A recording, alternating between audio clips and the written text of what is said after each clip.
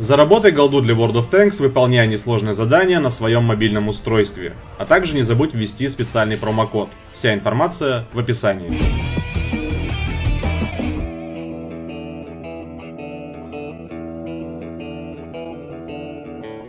Всем привет, ребята, на связи Грим Оптимист. И сегодня с вами обсудим довольно серьезную тему. Пару недель назад э, была новость о том, что опять э, прошла волна банов за читы. Заблокировали там 60 тысяч человек, из них 5 э, тысяч на перманент. То есть, грубо говоря, 55 тысяч впервые на недельку, как бы пальчиком погрозили, сказали, не-не-не-не-не, больше читами не пользуйтесь. И 5 тысяч уже повторно нарушили и их навсегда заблокировали.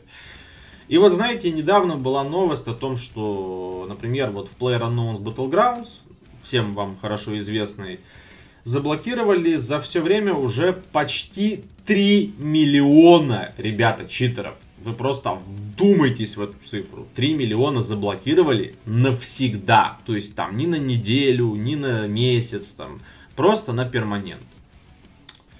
И я не так давно подводил итоги по World of Tanks. Э, общее количество игроков забаненных навсегда. То есть повторно и уже вот перманентно. Там что-то Э, тысяч пятьдесят или 60 получилось. Ну и сейчас вот спустя пару э, еще волн банов, наверное, там цифра, может быть, 70, 75 тысяч. Это у нас вот за все время, ребята, я подчеркиваю, существование игры у нас за читы, ну, за запрещенные модификации, навсегда забанили там 65-70 тысяч человек.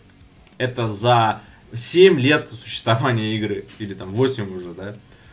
PUBG за год 3 э, миллиона просто.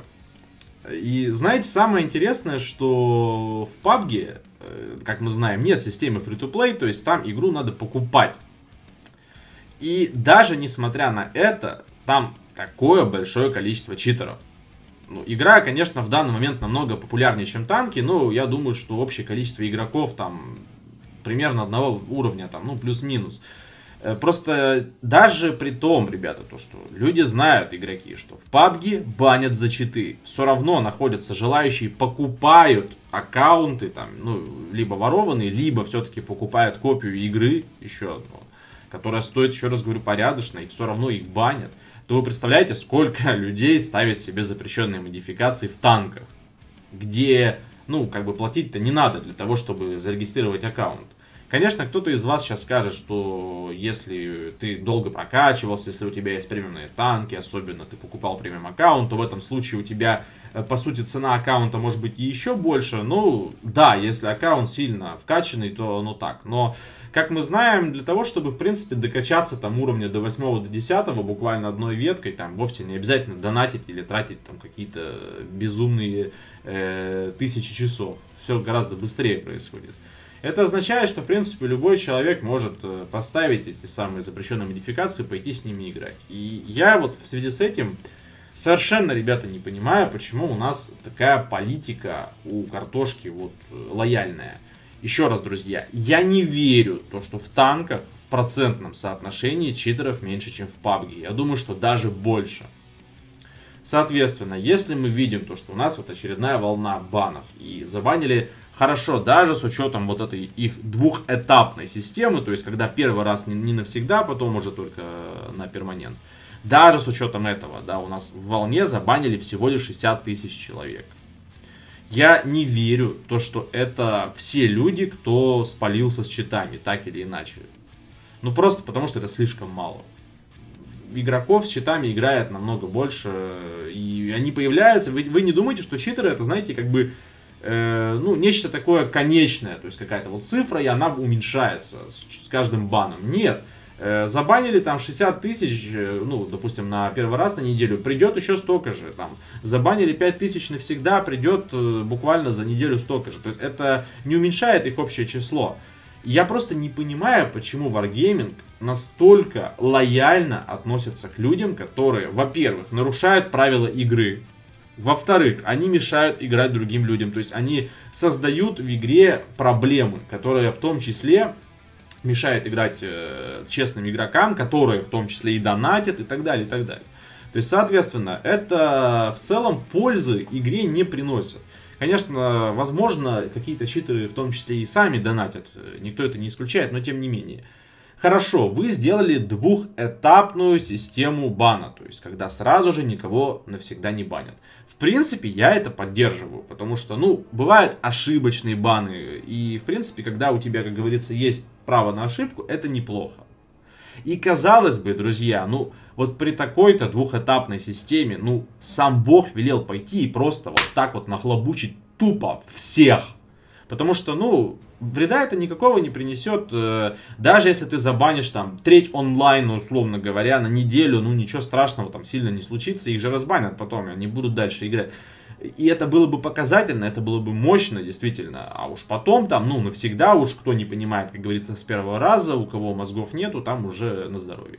Вот, то есть, мы имеем очень странную ситуацию. То есть, с одной стороны, у нас вот эта вот очень лояльная двухэтапная система банов, да и при этом она еще и работает далеко не на 100%. Я э, даже не знаю, там, какой процент банят э, читеров, но он явно небольшой, это хорошо видно. Еще раз, просто у нас есть игра рядом, которая стоит, извините меня, в России 1000 рублей, а во всем мире, по-моему, 30 долларов. Да, и при этом, даже при такой цене, все равно там 3 миллиона читеров забанили. То есть там 10%, грубо говоря, игроков это читеры. То есть если в танках такие аналогии проводить, а я думаю, что в танках даже больше, на самом деле, потому что, ну, еще раз говорю, не так палевно, банально, не игра бесплатная.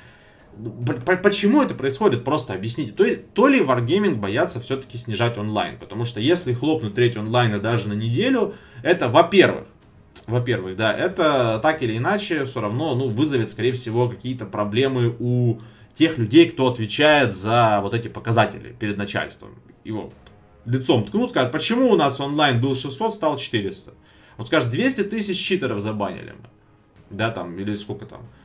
И получат за это по шапке. Соответственно, ну, может быть, кто-то не хочет за это отвечать. Это всего лишь мои домыслы, я просто пытаюсь как, как бы, ну, логически мыслить.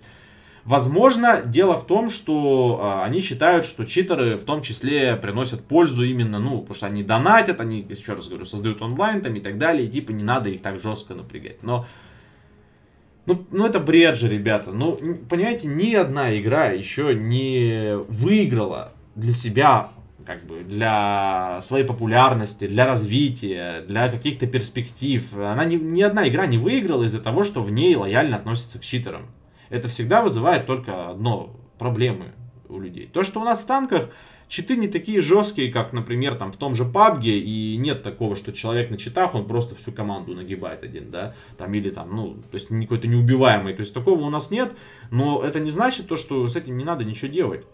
Я думаю, друзья, что если бы Wargaming действительно жестко боролись бы, хотя бы по перваку бы банили тупо всех, то есть у нас бы была бы вот новость, Итак, типа, вот новая волна банов, мы забанили там 250 тысяч человек, например. Или там 300 всего.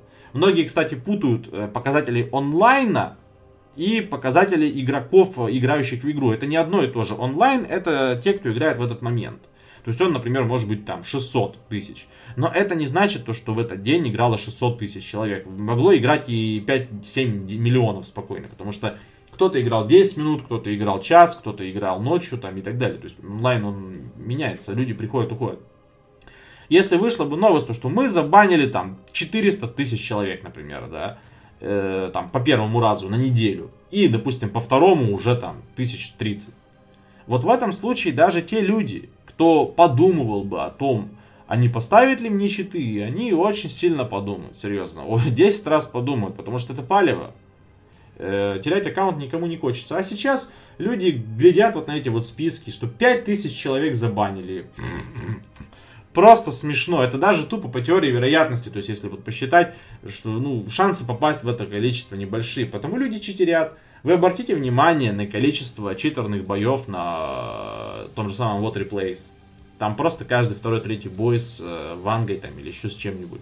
У нас э, целые YouTube каналы поднимаются на этом теме, да, э, что мне не очень, кстати, нравится, как бы, но тем не менее, не, не лезу в чужой бизнес. Вот, в общем, какая-то херня полнейшая, и, по-моему, уже стало ясно, что вот эта вот система, которую разработчики изначально, видимо, хотели внедрять, что вот мы, мол, мы будем пугать, да, вот люди испугаются, дескать, не надо всех наказывать, надо просто показательно немножко там пару человек расстрелять, остальные сами станут шелковыми. Не работает, не становится. читеров меньше не становится. Э, ни, нисколько абсолютно. Но вот реплейс все только больше читерных реплеев. И проблему, как по мне, надо, конечно, решать глобально. И вот эта вот лояльность, она здесь совершенно не к месту, вот серьезно. С учетом двухэтапной системы, где право на ошибку, ну, оно, как, как говорится, есть, можно действовать намного жестче, намного эффективнее. И, поверьте мне, игроки бы стали намного, скажем так, ну, более благодарными и лучше бы относились к ВГ в целом, если бы они вот хотя бы в такие моменты вели себя как-то, ну, по-нормальному.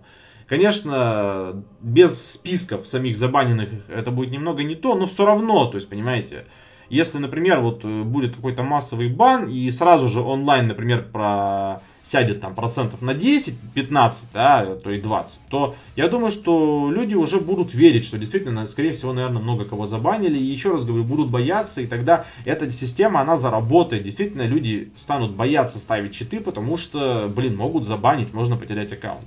А сейчас это, знаете, вот просто какая-то показуха, вот, не знаю, там, Э, разработчики сделали вид, что что-то сделали, мы сделали вид, что испугались и поверили. Ну, я не знаю, в общем, вы поняли, к чему я веду. Просто вот натолкнулся что-то опять на эти цифры, и недавно вот как раз читал новости по PUBG, да, по их статистике, и что-то как-то грустно стало. На этом на сегодня все. Пишите комментарии, ставьте пальцы вверх и подписывайтесь. Всем до скорого и всем пока.